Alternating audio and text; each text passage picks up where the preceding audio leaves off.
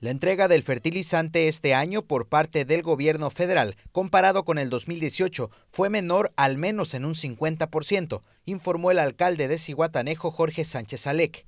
En entrevista con medios de comunicación, el edil precisó que en esta ocasión el gobierno de la República autorizó la entrega de fertilizante únicamente a 900 productores, a pesar que el año pasado el gobierno del estado de Guerrero benefició a más personas. Les estoy hablando que nos quedamos prácticamente un 50% abajo de lo que de lo que se entregaba cuando el gobierno del estado, cuando el gobernador Héctor Astudillo hacía la entrega del fertilizante. Al reiterar que la meta en 2019 fue inferior a 2018, Jorge Sánchez Alec dijo que el gobierno de Andrés Manuel López Obrador por lo menos cumplió con entregar el fertilizante a los 900 campesinos de Ciguatanejo censados y aprobados. No obstante, ese no es todo el universo de hombres del campo en la localidad. La meta, la meta que nos autorizaron, la cual fue inferior a lo que se venía dando cuando el gobierno del estado tenía las riendas del fertilizante, por lo menos se ha cumplido.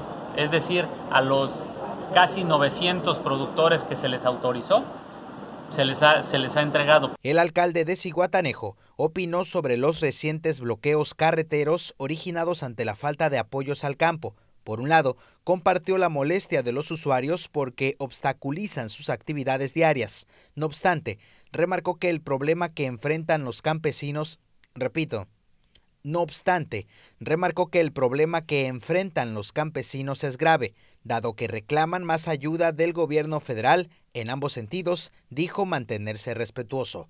Sí estoy eh, totalmente de acuerdo con los usuarios de las carreteras, que pues es un tema complicado, pero también pues ahora sí que hay una manifestación nacional debido pues a la falta de, de apoyo al campo por parte del gobierno federal y bueno, también somos respetuosos.